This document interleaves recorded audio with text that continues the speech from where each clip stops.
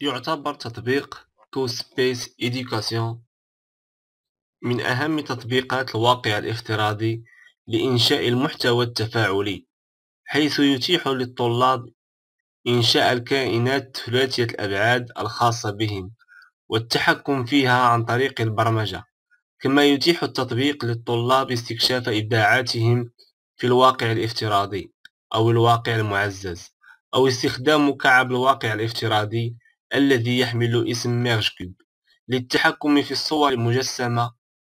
يستخدم تطبيق CoSpaces آه، يستخدم في العديد من المجالات الدراسية.